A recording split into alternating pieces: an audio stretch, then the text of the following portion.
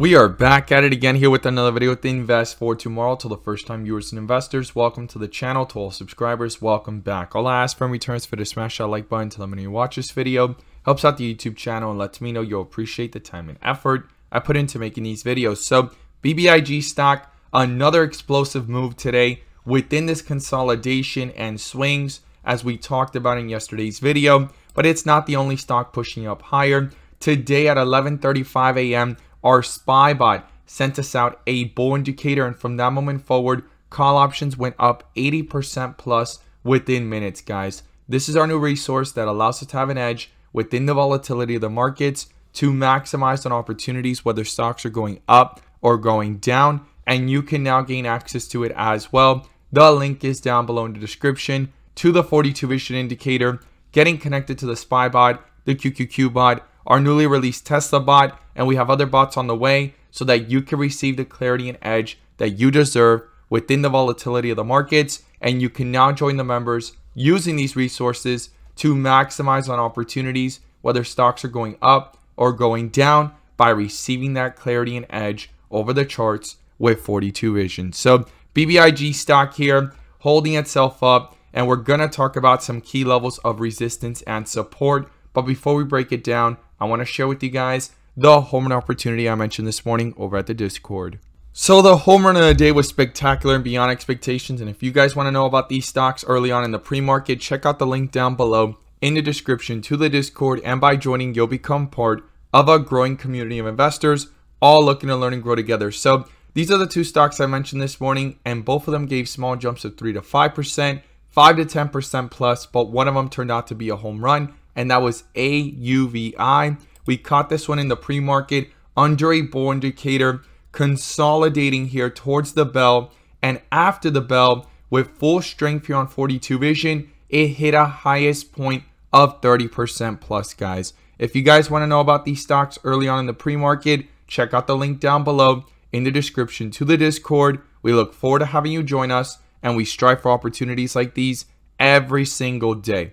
Let's jump into these charts. So here we are with BBIG Stock Vinco Ventures Inc. And as I stated in yesterday's video and even earlier in the video, it has been in this consolidation and volatility will continue to persist. And the opportunities are forming right before us as we see this hold itself up with strength and as well as it's playing out between the ups and downs, right? So I'm going to go ahead and pull up Ultimate 42 Vision, the and bear indicators, which you can now gain access to as well. The link is down below in the description to the 42 Vision indicator, getting connected to the Spy bot, our QQQ bot, our newly released Tesla bot, and we have other bots on the way so that you can receive the clarity and edge that you deserve within the volatility of the markets to maximize on opportunities, whether stocks are going up or going down. And you can now join the members using these resources, maximizing in either direction by receiving that clarity and edge with 42 Vision. So Yesterday, BBIG stock was under a bull indicator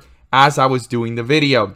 Now, we saw a lot of strength here, and based off 42 Vision, it has done a complete shift from white with red borders, which is a dip area, to bright green as the rip area, came back down. This time it turned around pretty quickly and hit green again, right? So when you hit that bright green, you're at the rip area and the chances of things slowing down if it pulls back are a lot higher, especially if it's followed by a dark green with red borders and red bar, as well as a bear indicator popping up shortly after or pretty quickly. And that's what happened the last two pullbacks. Now, both pullbacks have now been canceled out by bull indicators each time. Yesterday, it was yesterday's bull indicator, and today it's today's bull indicator. So a lot of volatility here between the lows down here at the 230s all the way up towards the 290s but we keep getting rejections as we get closer to three dollars. So we definitely want to be aware of that and always remember that right? I'm not here to sugarcoat things. I'm here to talk about things for what they are. So let's go ahead and break it all down in today's video the key levels and right now in the volatility on the 30 minute we are under a bull indicator since $2.72 around that area, give or take. Now, on the four hour though, we have been in the process of reversing, right? You could see how it's going from red to dark green and a continuation of those bars, right? Within this volatility and in this consolidation. But if this is going to have any real strength, we definitely want to see it break above $3.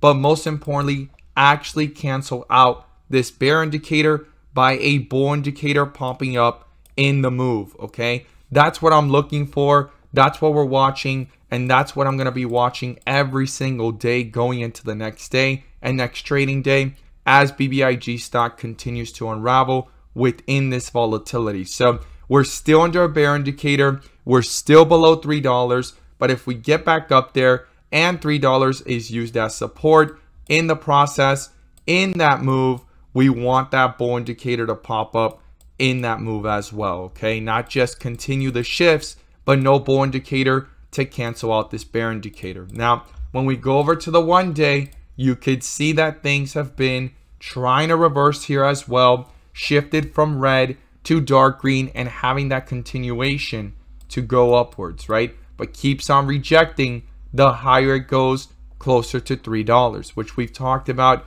time after time in my videos and even since way back here when this first bear indicator at $4.33 popped up and things were bearish all the way down to the twos until we finally had that bounce from the twos all the way back up to the threes, the rejection again, and I've broken down my theory, my thesis, and I could be completely wrong. This is not financial advice, and by all means, I may not even know what I'm talking about, right? That's the worst way to look at it. But I am here to share my opinions and my thoughts and my perspective and what the charts are showing. And we've been tracking this together for the last several weeks, months, and almost a whole entire year now, right? We're going into like 10 months of following and tracking these charts and letting the charts speak to us. So I know there's a lot of manipulation. A lot of people have a lot of different perspectives on different data. But at the end of the day, the charts tell you a story. I've been talking about since way back here how $4 was so important because we pulled up the data how everyone's average cost based off the data was between 350 up to 5 and $5 plus. Now a lot of people were able to average down when it hit the lows down here around the 260s and 270s and as it pulled back up closer to almost $4, a lot of profit taking or breaking even or cutting losses short happened and this happened right here. Those that did not have a chance to get out or average down in this time have averaged down on the way down here and then things came back up and as soon as it hit close to 350 it rejected again it didn't even let it get close to four dollars and everyone that had a chance to get out here started getting out here. And in the process shorts both times have put pressure to the downside as well. But there's a lot of selling going on when this happens. And when we reach the fours this most recent time, almost 350s again, and so forth. The rejection happened again, and that's how we've ended up here at this point where the stock is having trouble staying above $3 because over time, people have been able to bring their average cost down. And as soon as they see a slight profit or breaking even, there are bulls that are getting out of their positions. And in the process, again, the shorts are putting pressure. So remember that. So on the one day, trying to come back up, but we are under a bear indicator. Now on the 30 minute, when you come back over here, it's pushing back up again. We do not want to see this reject 288. We want to see a break through it, and we do not want it to reject 293. We want to see a break through it, and we want it to break out above $3 and find support up here in the $3 range. That's to the upside resistance levels to watch going into tomorrow as this plays out. To the downside, the first support is 260, and if that gets broken through, the next point is 248. If you want to round that up to 250, you can. Those are the key levels I'll be watching in between that area if the bulls are trying to reappear or if the bears are tearing this one down fairly fast, guys. Again, this is not financial advice. I'm here to always share my perspective and opinions and I could be completely wrong. But one thing that does not ever fail is the charts and what they're saying. And right now, there is a big battle here in this consolidation where the bulls are trying to pull upwards and $3 will be pivotal. And if it keeps rejecting it, the Bears are putting on pressure, in my opinion. And to receive clarity within the charts, check out the link down below in the description to the 42 Vision Indicator, getting connected to the SPY bot, the QQQ bot, our newly released Tesla bot, and there's many more bots on the way to get connected to the Discord. It sends us direct notifications to give us that edge and clarity within the charts, and you can receive this edge and clarity that you deserve within the volatility of the markets to maximize on the opportunities, whether stocks are going up or going down.